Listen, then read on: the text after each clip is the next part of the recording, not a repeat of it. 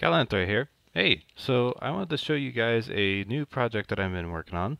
Uh, it's a breeding system. It's quite a bit different than what you see on YouTube these days. Um, what this is, is it's actually a mass breeding uh, system so that you're not having to keep track of mine carts or anything like that. You just simply mass breed and forget it. Um, you just have to wait 20 minutes for the babies to grow grow up and that's really not too bad it once you get a large scale production going on. Anyway, I'm going to show you how these things work.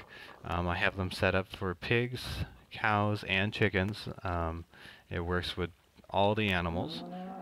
And looks like we have some survivors, or at least some people that got hung up here.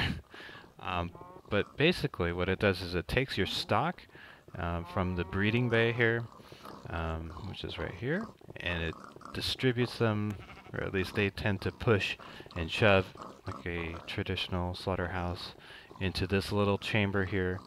Um, and I'll show you how that works. So it opened those doors to allow them in, and it stopped the water flow so they're not getting pushed into the chamber down here. Going to do the same with these guys. And let's do chickens also. Chickens are quite special, and I'll go over that later. Um, I'm going to take you to a creative world to show you how this is all done. Okay. Well, it looks like our pigs are all ready.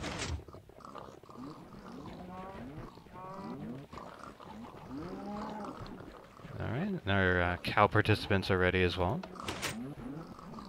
There we go. Oh, we got plenty of chickens. Look at that. Yep, and then you can see them being pushed down, and they're getting delivered right up to this little killing chamber. Um, if you don't know, that's just a lava bucket that's in that uh, dispenser, and that's true with all three. And here we go. Um, they're looking at me. Here we go. Alright, so it shuts off just before they die so that you get 100% return on your pig. So you get plenty of meat here. Um, same thing with the cows. It's all pre-cooked. And you get some leather as well. There you go.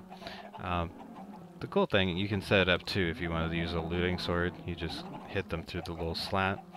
Um, chickens, like I said, they're special. Um, I'll show you why. So you see how they took time to die? Um, it's because they were just touched by the lava. And here's another cool feature. You don't have to worry about any of it dying, or any of your stuff burning up either. It's completely protected. There we go. And those drops are just simply there so I can collect the loot. Anyway, um, I'm going to take you to my creative world just so you can see how this is made. Okay, so here we are in the creative world where I have the design of the breeding system all stripped down to its basics uh, so you can see how it's working. Um, I can break it down into four different sections. You have the center section controlling the doors, then you have the side sections controlling the pistons on the side, um, one for your water sources and then the other to prevent your animals from getting into your killing chamber too early. And of course you have the fourth section which is your building and breeding section. So I'll kind of go over those with you here. So the first section, um, well first of all I should describe this is gold blocks um, just simply representative because I have the whole design here extracted so you can see it a little bit better. Um, so here we are, you have your uh, center section.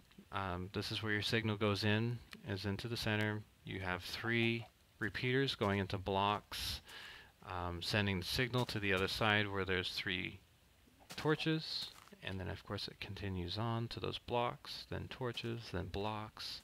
I'm sure you're familiar with that. And then you have your doors. So you're looking at one, two, three, four. On the fifth block you put your doors. Um, and then there's a sixth block because you drop down one to the, get to the side sections. Um, and the thing about the sides is that they're completely symmetrical, so they're just a mirror image of each other, so you're pretty much building the same thing twice. Um, and bear with me here. So this is where your uh, side section starts. And you would want two repeaters right here. Then that continues on into a vertical line on up. And then the important thing is that you have two torches on the inside of this block here. Um, and you have your pistons and, and controlling the uh, well the floor section here so that you're not having to worry about your animals getting out. Of course you can see that's your floor and that becomes your collection chamber for your animal animals um, and that's how you would end up building that. Um, and right here this is the the chamber itself where the water goes and you can see the water goes right behind a set of pistons. You can do it either way. It's it's a symmetrical design, so you don't have to worry about you know right or wrong sides. You can see that working just fine. And one thing you want to make sure is that when the pistons are extended, your doors are open. Um, otherwise, you have it in reverse. That's the only that's the only thing. So if if for some reason you have your doors open and your pistons retracted, then you know you've done something a little wrong. So here we go. And then this is the breeding section. So you have pretty much, this is where I would have doors. In fact, let's clean that up. Well, that doesn't look good. Oh, oh well. Um, so this would be your breeding section. And you build that just right next to your uh, collection chamber. You can make it as big as you want or as small as you want. I recommend just going with something the exact same size. Um, that way you have at least a decent amount of um, animals all set up. There are some design considerations though when building this. Um, you do want to put a roof over the um, the collection chamber, otherwise you have some issues, and I'll go over that here. Um, so here we are in the killing chamber. You want to put some half slabs in. So slab, slab, and you want to put that right above where the pistons come. And the reason being is that if you're going to put chickens or pigs in here, they will jump right on over and get themselves killed too early. Um, but if you have cows, you want to do without those. Otherwise, they can't get past that, even if you were trying to get them collected. But that's it. Um, the roof is just mainly to keep them from jumping out when you get the water flowing. Um, then it becomes an issue. One thing I do not recommend is using fences, and I'll show you why. You have water running, and you have this little gap right here, and animals do get stuck on that, and it's annoying. So I recommend not using fences, but hey, if you want to use them, I'm not stopping you. So, and you have that continue on into, you could put your killing chamber right here if you really wanted to, but I like to move them elsewhere so you can kind of collect them all together. So you, you of course you put a water source block over there and move them out, and I'll show you some designs I had for killing chambers. Um, this one was made before the whole lava in dispensers was around, and I'm using fire charges. It all it does, it, kind of amusing.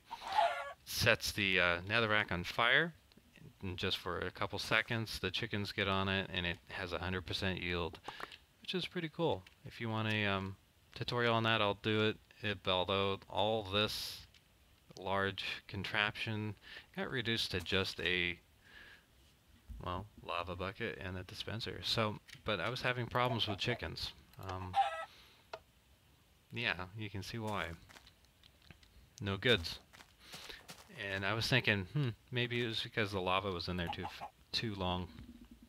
So I went ahead and tried shortening it up with a monostable, and well, that made me mad. so I tried figuring out a solution, and I finally came up with this one. It's the best solution so far.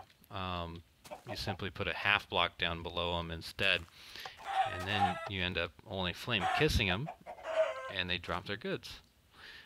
And not only that, like I said earlier, it prevents the goods from being burnt up if you accidentally hit the button again. Anyway, this is just the killing, same exact killing design that I have for the cows and uh, pigs, except for the half block. And so you just put a block right next to, or a redstone torch right next to a piston, and then you can have a, a line, a redstone line going into it with, connected to a button, or put the button right here if you wanted, and that works just fine. Anyway, I'm going to stop the video right over here so you can follow the design if you need. And thanks for watching.